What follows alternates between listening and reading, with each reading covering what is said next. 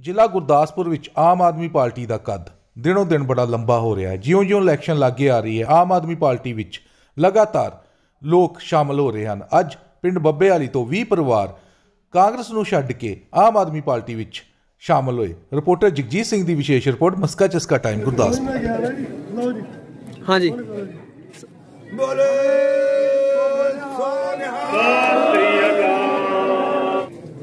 ਠੀਕ ਹੈ।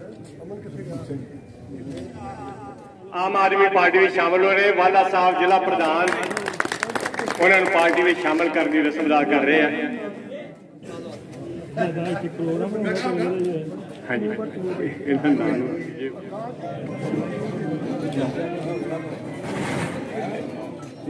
ਸਿੰਘ ਟੈਡ ਇੰਸਪੈਕਟਰ ਪਿੰਡ ਬੱਬੇ ਦੇ ਰਹਿਣ ਵਾਲਾ ਹਾਂ। ਮੈਂ ਪਹਿਲਾਂ ਕਾਫੀ ਸਮੇਂ ਤੋਂ ਕਾਂਗਰਸ ਪਾਰਟੀ 'ਚ ਸੇਵਾ ਕੀਤੀ ਆ।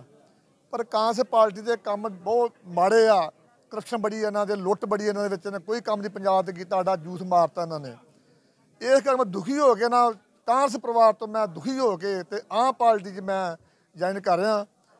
ਔਰ ਬਹਿਲ ਸਾਹਿਬ ਨੂੰ ਅਸੀਂ ਘਟੋ ਘੱਟ ਵੀ 20000 ਵੋਟ ਤੇ ਜਿਤਾ ਕੇ ਤੇ ਭੇਜਾਂਗੇ ਆਪਣਾ ਅਸੈਂਬਲੀ ਭੇਜਾਂਗੇ, ਜੋ ਸਾਡੇ ਗੁਰਦਾਸਪੁਰ ਦੀ ਸੇਵਾ ਕਰਨਗੇ।